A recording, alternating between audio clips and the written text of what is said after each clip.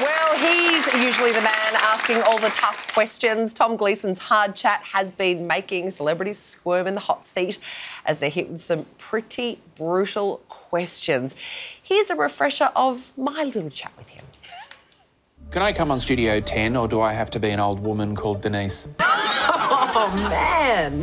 Well, at Channel 10, you fill in for Carrie on the project. How does it feel knowing that you're at least the fourth person they've called? actually put an email the other day saying. Did it CC and all the other people that asked? No, well, saying Carrie can't do it, Lisa can't do it, Georgie can't do it. Are you available? So, yeah. It's good to know where you sit, isn't it? The fourth filling. Yeah. It's, it's not bad though on a Logie. Yeah, it's like it's, it's like show. a solar eclipse whenever you host it. Very unlikely.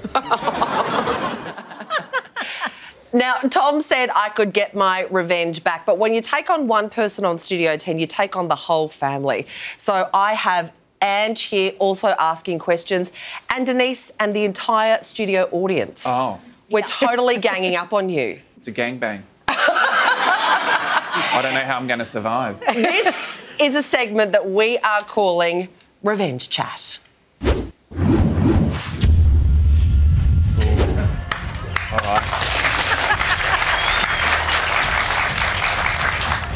Tom Gleeson, let's chat. Revenge! Seemed like such a good idea in the, idea in the production meeting. When you were at uni, you played drums in a band. How did you end up playing second fiddle on the weekly? Well, Charlie can be quite abrasive, so I'm there just to take the edge off his uh, unappealing personality. And uh, so I play second banana just to make him look good. Oh. Is it true you were sacked from nighttime radio when the bosses weren't even around to hear how bad you were?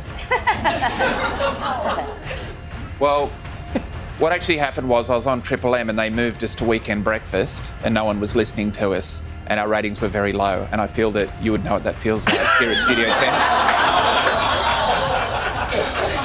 I think it's supposed to go the other way. Um, you grew up in Gunnedah. Yes. It's a town full of famous Kerrs, Miranda Kerr, her mum, Therese Kerr. Are you the long lost brother, Wanker? yes!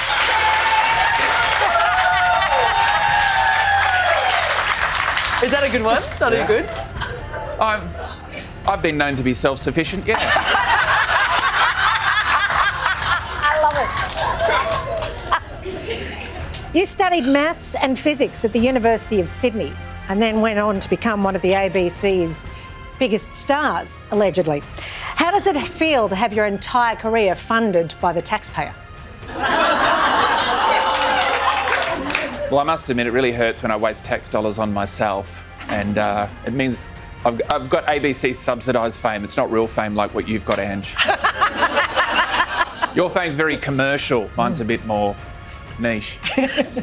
you got Grant Denyer, the gold Logie because he figured you'd never get yourself one. Is that also why you got him a radio career? well, I'm not sure that he's going to hold on to that career either, to be honest. I'll just see the ratings. but yeah, I, uh, I don't think I'll have a radio career, yeah. But um, I, I, think the reason why I'm not going to have a radio career is because, unfortunately, I often tell the sponsors what I actually think. so you do hard chat, you do hard quiz. What's all this obsession with hard things? Are you compensating for something?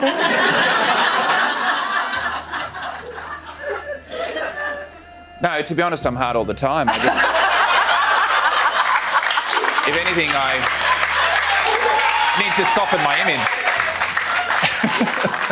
All right, we're saving the best till last. Denise is in our studio audience. Oh, Denise, God. let's take some hard revenge. Uh, yes, Tom. Uh, when you were doing your hard chat session with Sarah, you referred to me personally as not only old, but dry. I took that really hard, Tom. I told you that in strictest confidence. Uh, so thanks for that. But Tom, really what I want to put it to you today and the audience here who are all with me, they're all surrounding me, Tom, yeah. our beautiful Studio 10 audience. Here's what you said about them. You said they were so old, we needed defibrillators in the audience to keep them alive until the end of the show.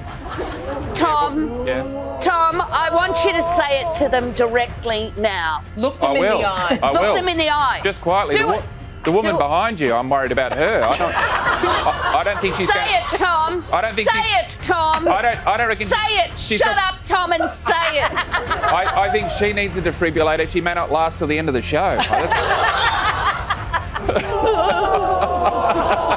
Are you happy, Tom? You've hurt people. Is the reason you do this, Tom, because you're just like all the politicians? You're aging, middle aged, overweight, balding, and going nowhere? Oh, oh that went a bit harsh. That was. Ex- excuse me for speaking truth, Mr. Gleeson. Well, I must admit, I do see myself as like some of the politicians. I was really upset that Peter Dutton didn't win, so I could work on my impersonation. Uh, hello, uh, I'm your Prime Minister, and uh, I really want to soften my image. You are such a good sport. Thank you, legend. That was Oh, fun. thank you. It was, it's fun, isn't it, to Thanks be for evil? chatting hard. How fun is it to be naughty? Appreciate it.